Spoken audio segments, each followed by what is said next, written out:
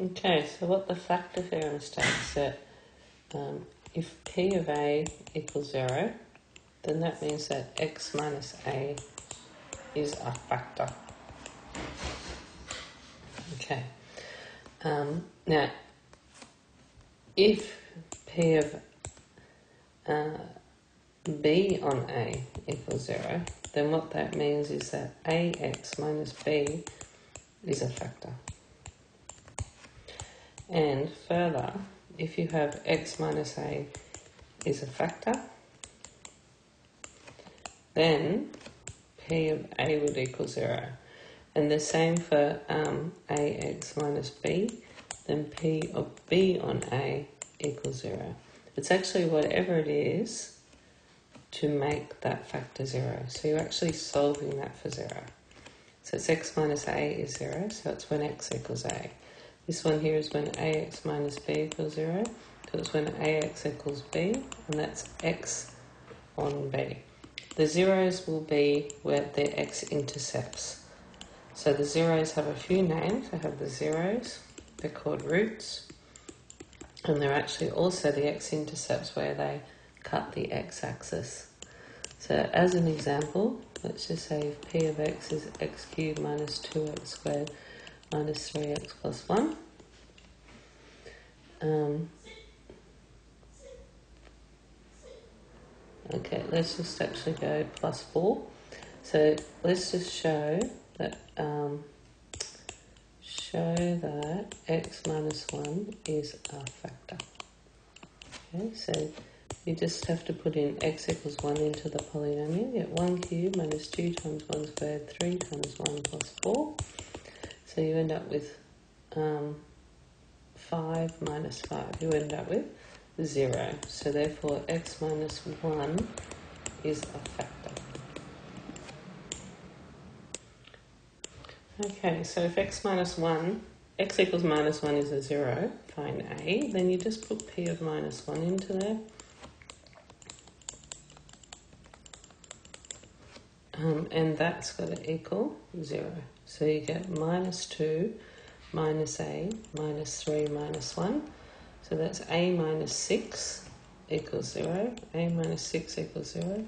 So then you just end up with a equals 6. So a will equal 6. Okay. Alright, so just another question here. So p of 2 is a 0 and also p of 1 is a factor. So it means when you put 2 in, you get 0. You get 16 plus 2a plus b is 0. 2a plus b is minus 16. And p of 1, 1 to the 4 plus a times 1 plus b, that has to equal to 0. So a plus b equals minus 1. Okay, so then you put a plus b equals minus 1.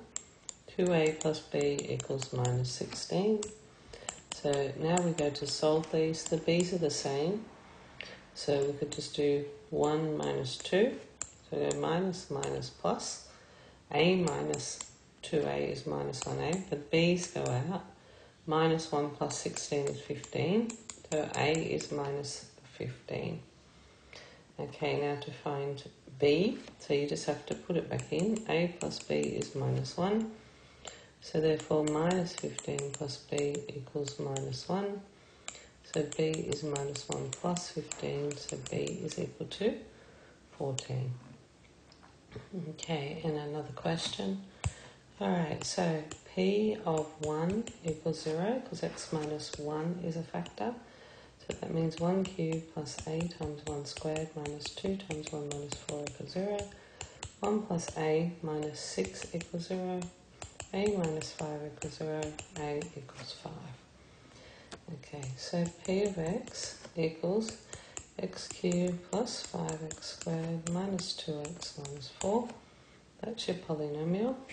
Okay, okay, so now in order to factorize that, if I use long division on this, x cubed plus 5x squared minus 2x minus 4. So we go, okay, x goes into x cubed, x squared times x squared times x is x cubed, x squared times x is plus x squared, x, sorry, x squared times x is x cubed, x squared times minus 1 will give you minus x squared.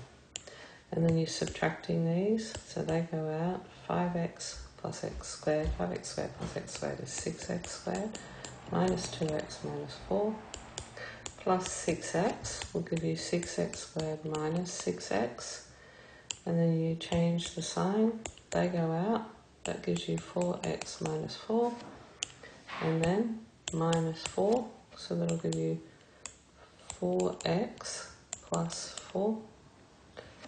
Sorry, not 4x plus 4. It's, you should just, that should just be plus 4, I think.